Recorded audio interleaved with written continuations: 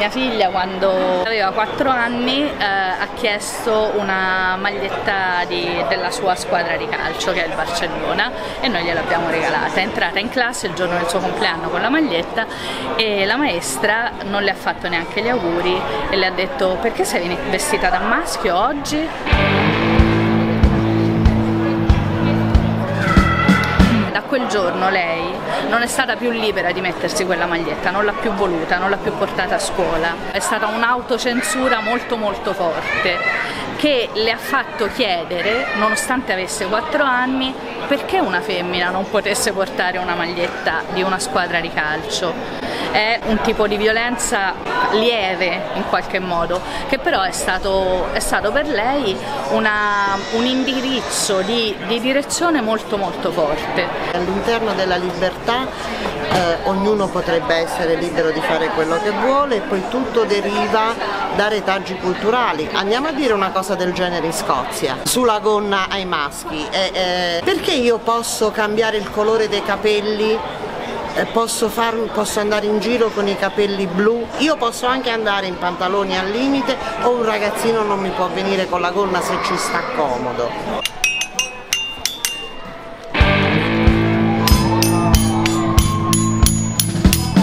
Ai bambini si richiede di essere attivi, creativi, dinamici,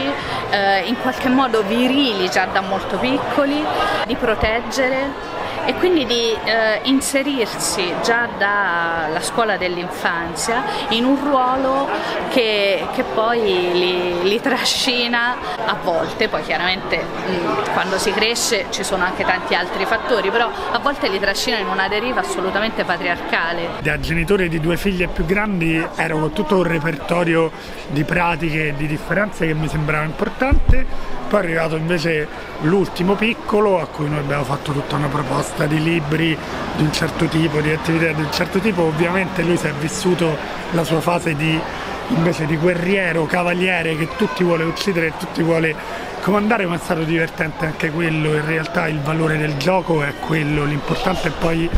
anche lì è come vengono visti i rapporti di forza, i rapporti di, i rapporti di convivenza. Io e la mamma continuamente diciamo che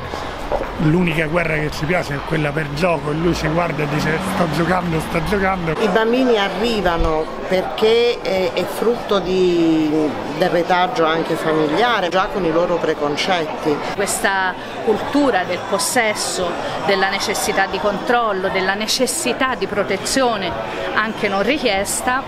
è una cultura che viene assolutamente imposta e viene imposta da un certo tipo di educazione. Non appena una ragazza, una donna, una bambina eh, esce fuori dagli schemi che gli sono dati, eh, rischia di mettersi in una situazione di pericolo e di subire una qualche violenza. Credo che i ragazzi e le ragazze invece vadano mm, in qualche modo educati a capire che i problemi si risolvano dalla radice della vita la radice della violenza di genere è una cultura sbagliata. Le figlie femmine, la cosa su cui noi cerchiamo di orientarci è proprio non seminare la paura,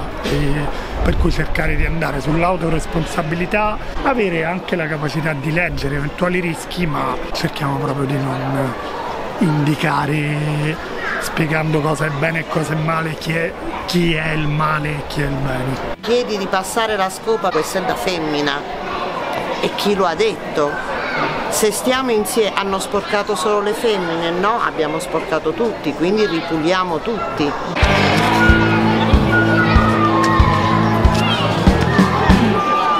Educare alle differenze è fondamentale e soprattutto se l'educazione inizia da quando bambine e bambini sono piccoli, molto piccoli, porta a vivere poi la propria sessualità, le proprie scelte di vita in generale in modo molto più sereno e questa è assolutamente prevenzione della violenza. Le reazioni nei ragazzi sono molto diverse